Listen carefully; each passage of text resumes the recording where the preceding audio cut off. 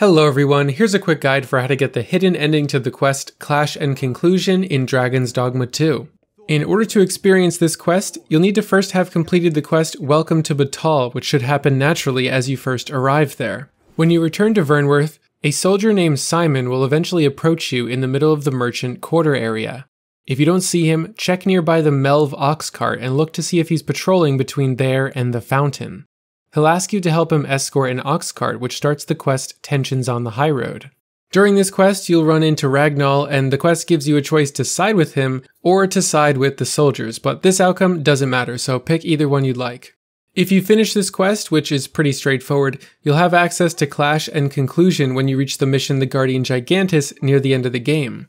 This is where you have to head back to the area from the beginning of the game, the excavation site, and ascend the Moonglint Tower. After you take the elevator up the tower, you'll run into Raghnall.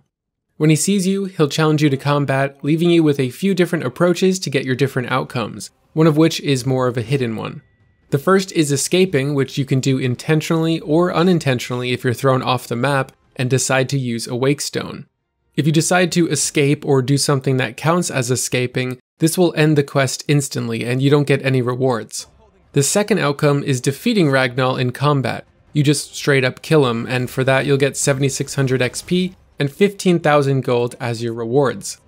The third and best outcome, which is the secret one, is to do some damage to him, enough to have at least a visible dent in his health bar, and then pick him up and carry him around or tackle him to pin him down.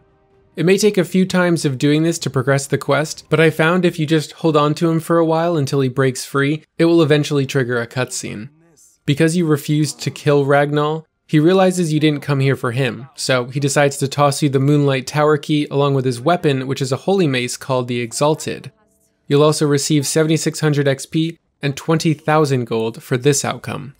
Because you spared his life, he will eventually deliver a newt liquor to your home in Battahl if you have one. He'll still do this even if you revive him with a wake stone after killing him, but you won't get any of the other immediate rewards. So yeah, that's about it for this guide. I hope you found this helpful and thank you so much for watching.